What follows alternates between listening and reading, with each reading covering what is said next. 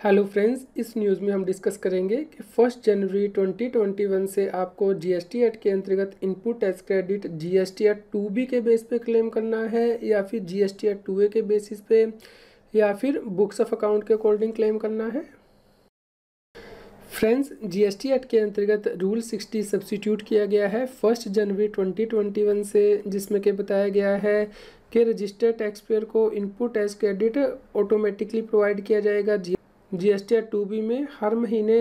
यानी कि जैसे ही supplier G S one file कर देगा तो उसके बाद ये उसे दिखाई देगा, या फिर यदि सप्लायर के द्वारा पहले दो महीने के लिए इनवाइस फर्निशिंग फैसिलिटी के द्वारा इनवाइस अपलोड की गई हैं तो उसके बेस पे G S T two B में इनपुट एस क्रेडिट दिखाई देगा। और तीसरे महीने में जैसे ही टैक्स पेयर के द्वारा G S T one file कर दी जाएगी तो उसके बाद G S T two B में ये अपडेशन आ जाएगी। फ्रेंड्स ये जी एस टी भी हर महीने अवेलेबल कराया जाएगा। रजिस्टर्ड व्यक्ति को जैसे ही जी एस वन को फ़ाइल करने की ड्यू डेट ख़त्म हो जाती है, या फिर इन्वाइस फर्निशिंग फैसिलिटी को फ़ाइल करने की ड्यू डेट ख़त्म हो जाती है। फ्रेंड्स आप G S T two B को जी एस टी पोर्टल पर देख सकते हैं। लॉगिन करके सबसी टाइम में रिटर्न में जाके रिटर्न डैशबोर्ड पे। जैसे ही फ्रेंड्स आप यहाँ पे क्लिक करेंगे तो उसके बाद आप यहाँ पे फाइनेंशियल ईयर और रिटर्न फाइलिंग पीरियड चूज़ करेंगे। तो आप G S T R two B को यहाँ पे व्यू कर सकते हैं या फिर डाउनलोड कर सकते हैं। फ्रेंड्स आप इसे डाउनलोड कर सकते हैं जेसन फ़ाइल में या फिर एक्सेल फ़ाइल में। फ्रेंड्स आप इसे व्यू भी कर सकते हैं। G S T R two B में आपको पता लगेगा कि कितना इनपुट एस क्रेडिट आपको अवेलेबल है और कितना अवेलेबल नहीं है। यहाँ पे आप एडवाइजरी देख सकते हैं कि किस डेट तक का इनपुट टैक्स क्रेडिट यहाँ पे आपको दिखाई दे रहा है। फ्रेंड्स यदि नॉर्मल टैक्स पेयर है और मंथली रिटर्न फ़ाइल कर रहा है G S T R one तो पिछले महीने की बारह तारीख से लेके इस महीने की ग्यारह तारीख तक का आई आएगा। और यदि क्वार्टरली रिटर्न फ़ाइल कर रहा है तो पिछले महीने की चौदह तारीख से लेके इस महीने की तेरह तारीख तक का input tax credit G S T two में आपको दिखाई देगा, जो कि आप डाउनलोड भी कर सकते हैं। फ्रेंड्स क्या G S T two B के बेस पे आपको इनपुट टैक्स क्रेडिट क्लेम करना है? आंसर है नहीं फ्रेंड्स आपको G S T two B में जो इनपुट टैक्स क्रेडिट आ रहा है, उसे रिकनसाइल करना है अपनी बुक्स ऑफ़ अकाउंट के साथ। और ये इंश्योर करना है कि कोई इनपुट टैक्स क्रेडिट आपने दो बार ना ले लिया हो या फिर जो input tax credit G S T act और रूल के अकॉर्डिंग आपको रिवर्स करना है, वो आप रिवर्स कर दें G S T three B में और रिवर्स चार्ज बेसिस पे यदि टैक्स पे करना है तो आप पे कर दें। फ्रेंड्स क्या जी एस टी या टू बी में जो इनपुट टैक्स क्रेडिट आ रहा है, वो टैक्स पर पूरा अवेल कर सकता है? आंसर नहीं फ्रेंड्स क्योंकि कुछ ऐसे भी केस हो सकते हैं जहाँ पे के सिस्टम के द्वारा इनपुट टैक्स क्रेडिट को रिवर्स ना किया गया हो जी एस टी या टू बी में, यानी कि नॉट एलिजिबल के कॉलम में ना दिखाया गया हो, इसलिए टैक्स पेयर को अपने आप सेल्फ असेस करना है। ऐसा इनपुट टैक्स क्रेडिट और G S T R three B file करते हुए उसे रिवर्स करना है। Friend G S T two में ऐसा कौन सा इनपुट टैक्स क्रेडिट है जो कि नो की कैटेगरी में आ रहा है, यानी कि नॉट अवेलेबल है? Friend G S T two में नीचे दिए गए आई सी नो के केस में आ रहा है नॉट अवेलेबल यानी कि यदि कोई गुड्स या सर्विस ली गई है, जिसपे के रिसिपियंट इनपुट टैक्स क्रेडिट लेने के लिए एलिजिबल नहीं है, जैसे कि फ़ूड एंड बेवरेजेज तो वो नो के कॉलम में आ रहा है, या फिर सप्लायर का और प्लेस ऑफ़ सप्लाई एक ही स्टेट में है और रिसिपियन दूसरी स्टेट में है तो उस केस में भी उस इन्वाइस का इनपुट टैक्स कैड नोट अवेलेबल में आ रहा है। इसके अलावा भी कोई और केस हो सकता है फ्रेंड्स जैसे कि सप्लायर ने इन्वाइस इशू कर दी है, लेकिन अभी तक गुड्स या सर्विस रिसीव नहीं की है तो वो आईटीसी आपको नहीं मिलेगा। इसलिए वो आपको मैनुअली सेल्फ असेस करना है और रिवर्स करना है।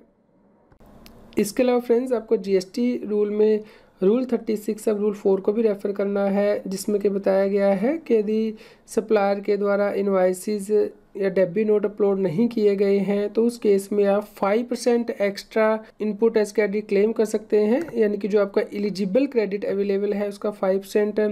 और क्लेम कर सकते हैं, यानी कि जो G S T R one या इन्वाइस फर्निशिंग फैसिलिटी के द्वारा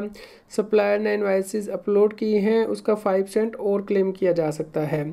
इस प्रकार फ्रेंड्स यहाँ पे मेंशन नहीं किया गया कि G S T R two B में जो आपका एट सी आ रहा है, उसका फाइव परसेंट आपको क्लेम करना है। तो फ्रेंड्स इस प्रकार G S T R two A में जो आपका इनपुट एस क्रेडिट आ रहा है, उसका फाइव परसेंट एक्स्ट्रा अमाउंट आप और क्लेम कर सकते हैं। फ्रेंड्स, रूल सिक्सटी, जो कि फ़र्स्ट जनवरी ट्वेंटी ट्वेंटी वन से सब्सिट्यूट किया गया है, उसमें बताया गया है कि जैसे ही supplier G S T one file कर देगा या इन्वाइस फर्निशिंग फैसिलिटी के द्वारा इन्वाइस अपलोड कर देगा तो उसके बेस पे जी एस टी टू में रिसिपियंट को इनपुट एज क्रेडिट दिखाई देगा। तो फ्रेंड्स इस प्रकार जो G S T two A में आपका एलिजिबल आई आ रहा है, उसका फाइव परसेंट एक्स्ट्रा आप और क्लेम कर सकते हैं, यदि सप्लायर के द्वारा इन्वाइस अपलोड नहीं की गई हैं। इसके अलावा फ्रेंड्स, आपको रूल 86 बी को भी ध्यान में रखना है, जो कि फ़र्स्ट जनवरी 2021 से इंसर्ट किया गया है, जो कि यह कहता है कि यदि किसी टैक्स पेयर की टैक्सेबल वैल्यू सप्लाई की एग्ज़ाम सप्लाई और ज़ीरो रेटर सप्लाई को छोड़कर महीने में पचास लाख रुपए से ज़्यादा हो जाती है तो वो अपने इलेक्ट्रॉनिक क्रेडिट लेजर से सिर्फ़ नाइन्टी नाइन परसेंट अमाउंट ही आईटीसी का यूज़ कर सकता है, यानी कि उसे at least one percent amount cash ledger से पे करना है। लेकिन ये रिस्ट्रिक्शन अप्लाई नहीं होती है। यदि प्रोप्राइटर करता मैनेजिंग डायरेक्टर या फिर कोई भी पार्टनर होल टाइम डायरेक्टर के द्वारा एक लाख रुपए से ज़्यादा का इनकम टैक्स पे किया गया है लास्ट टू फाइनेंशियल ईयर में, जिसके लिए कि इनकम टैक्स रिटर्न फ़ाइल करने की लास्ट डेट ख़त्म हो चुकी है, या फिर व्यक्ति के द्वारा जीएसटी एक्ट के section 54 sub section three clause one and two के अंतर्गत एक लाख रुपए से ज़्यादा का रिफंड क्लेम किया गया है, या फिर करंट फाइनेंशियल ईयर में जिस महीने वो रिटर्न फ़ाइल कर रहा है, उस महीने तक उसने ऑलरेडी अपने इलेक्ट्रॉनिक कैश लेजर से एक परसेंट से ज़्यादा का अपना आउटपुट टैक्स पे किया है, या फिर व्यक्ति रजिस्टर्ड व्यक्ति है government department public sector undertaking local authority statutory body friends इस प्रकार आपको इनपुट एस क्रेडिट क्लेम करते हुए बुक्स ऑफ़ अकाउंट को भी देखना है G S T R two A को भी देखना है G S T R two B को भी देखना है और जी एस टी एक्ट और रूल भी देखने हैं। फ्रेंड्स इसके अलावा आपको रूल एट्टी सिक्स ए को भी रेफ़र करना है, जहाँ पे कि G S T officer electronic credit ledger से आई टी सी को अवेल करने में रिस्ट्रिक्शन लगा सकता है, यानी कि आई टी सी ब्लॉक कर सकता है। यानी कि यदि आईटीसी ऐसे व्यक्ति से लिया गया है जो कि नॉन एग्जिस्टेंस है या फिर बिना गुड्स या सर्विस को रिसीव किए हुए कोई व्यक्ति इनपुट एज क्रेडिट अवेल करता है तो उसका आईटीसी ब्लॉक किया जा सकता है। या फिर जो व्यक्ति आईटीसी अवेल कर रहा है वो नॉन एग्जिस्टेंस है या या फिर अपने प्लेस ऑफ़ बिज़नेस से जहाँ के लिए उसने जीएसटी की रजिस्ट्रेशन ली है, वहाँ से बिज़नेस नहीं कंडक्ट कर रहा है तो उसका आईटीसी ब्लॉक किया जा सकता है या फिर वह बिना किसी टैक्स इनवाइस या डेबी नोट के आई ले रहा है तो उसका आई लेना ब्लॉक किया जा सकता है। फ्रेंड्स, आपको रूल ट्वेंटी वन को भी रेफ़र करना है C G S T rules में, जिसमें कि नई कंडीशन लगाई गई हैं जी एस टी का रजिस्ट्रेशन कैंसिल करने के लिए। यानी कि यदि कोई व्यक्ति जी एस टी एक्ट के सेक्शन सिक्सटीन को वायलेट करते हुए इनपुट टैक्स क्रेडिट को क्लेम करता है, या फिर जी एस टी रूल को वायलेट करते हुए तो उसकी रजिस्ट्रेशन कैंसिल की जा सकती है। या फिर रूल एट्टी सिक्स बी को वायलेट करता है, यानी कि उसकी टैक्सेबल वैल्यू की सप्लाई पचास लाख रुपए से ज़्यादा है और वो 99 परसेंट से ज़्यादा का इनपुट एज क्रेडिट अवेल करता है अपने इलेक्ट्रॉनिक क्रेडिट लेजर से तो भी उसकी रजिस्ट्रेशन कैंसिल की जा सकती है।